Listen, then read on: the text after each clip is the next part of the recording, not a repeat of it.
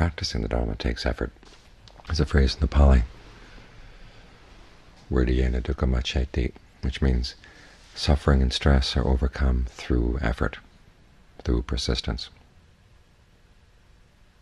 And sometimes the idea scares us off, but you have to remember life itself requires effort. Think of the effort involved in simply keeping the body going, making a living,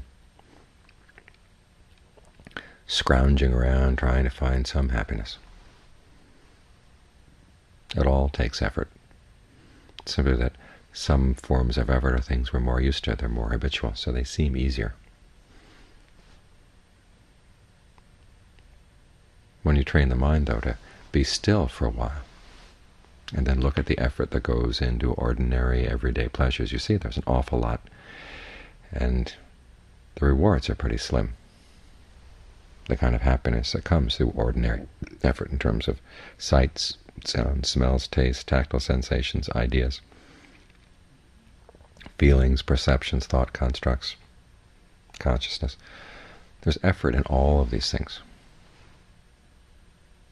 The basic building blocks of our experience, the five aggregates, require fabrication. Even before we sense things, there's an element of fabrication that goes on in the mind. If the mind weren't active, if it weren't putting effort into this, it wouldn't be able to see, hear, smell, taste, touch anything at all. And then all the effort that goes into appreciating these things, sometimes requiring the mind to twist itself into all kinds of somersaults. Years back when I first came back to the States, Ajaan Suwat and I flew to the Abbott's meeting in Fort Worth. And on the way back, we are sitting next to this man in the plane who told us a little of his life story. He had a son who was in jail after having been framed by his friends. He had a daughter who had hooked up with a drunk junkie someplace. She herself had gotten hooked on drugs, had a kid, and then came back and left the kid with her parents and then disappeared who knows where. He kept insisting, though, that it was all worth, worth it, that life was really basically good down deep down inside. And you could see his mind twisting itself into all sorts of contortions just to keep going. And in the end, what do you have left? With a life like that. After all, the effort becomes just too much for the mind to maintain. I know a monk who one night started recollecting past lives, ten altogether in the course of one night.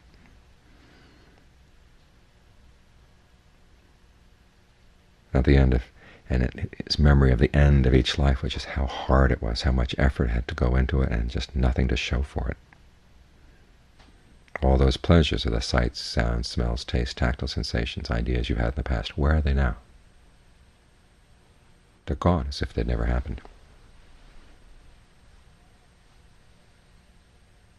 And if the mind is still clamoring after those things in order to find some little some little sip of happiness, a little bit of happiness, just not too much, just enough to keep you going.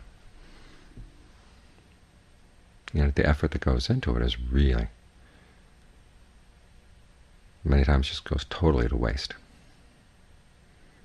So since there has to be effort one way or another. It makes sense to apply effort to putting an end to suffering. The mind sometimes rebels largely because it goes against old habits. Restraint, for example. The eye wants to look, the ear wants to hear. Actually, the eye and the ear don't have any desires at all, but the mind wants to use them to look and to listen to that, this, that, and the other thing, and feels hemmed in when we start talking about restraint. And yet the effort that goes into looking and listening here and there to get a little snatch of happiness. Usually there's nothing much to show for it. You know, the potential for true happiness is right here, staying focused on the breath. And once you get skilled at it, you realize it's much easier. It takes much less effort, much less frantic energy and the results are more lasting. You've got a skill. inside that you can depend on. And the normal skills we have in terms of looking at this, and this thing in such a way to find it interesting, looking at that in such a way to find it attractive. I mean, it really takes an effort to look at the body and make it seem attractive. And yet we do it without thinking because we've done it so much. And then it seems like a real effort to look at the unattractive side. Actually, it takes a lot less effort because it's right there showing itself all the time. The effort lies in breaking an old habit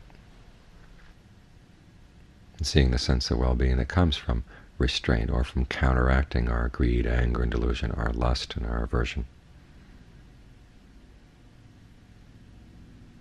That the well-being that comes from counteracting these things is much more lasting, much, goes much deeper. Many times you hear people saying that the Buddhist analysis is that we're always looking for happiness in something that's constant, and we get disappointed because things are not constant. Most people could care less whether their happiness is constant, as long as they feel that it's worth whatever effort that goes into it. That's the attitude. And it's learning to see that it's not worth the effort. Our perception of things, our appreciation of things, that we try to milk a little bit of happiness or a little bit of little moment of beauty, a moment of satisfaction out of these things. The effort that goes into that is tremendous. And then many times what's left is nothing. Sometimes it's worse than nothing because we had to do things we don't particularly admire in ourselves in order to snatch that little bit of happiness. So it's learning to see it's not really worth it. It seems worth it only as long as you don't think that there's any alternative. But there is the alternative, looking inside, developing this skill. Simply breathing in such a way that it feels really gratifying, allows every cell in the body to get bathed in a sense of saturated energy, good energy. And then allowing ourselves to sit with that for a while so that it nourishes the body, nourishes the mind.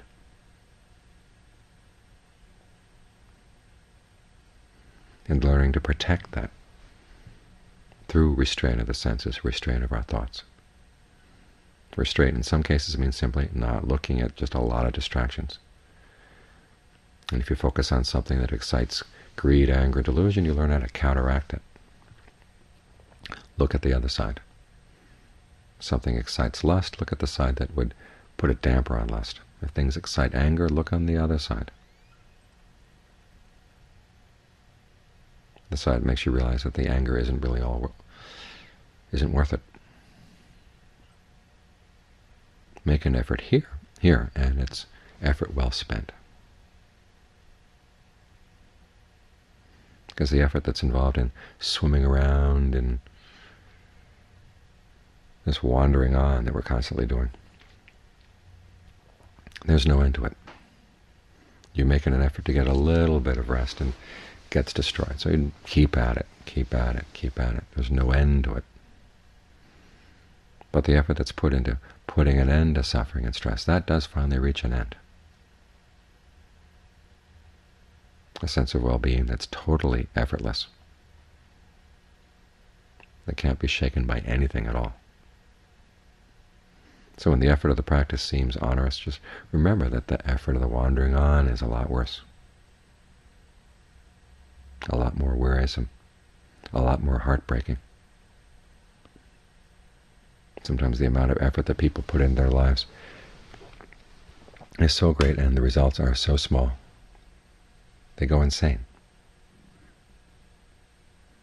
Whereas the effort that the Buddha has us put into the practice, it leads only to good, solid, healthy states of mind. So as long as we have to put effort into life, let's put it into, into activities that really do show results, results that are really gratifying, results that are really lasting, results that are more than worth the effort. Keep things in perspective.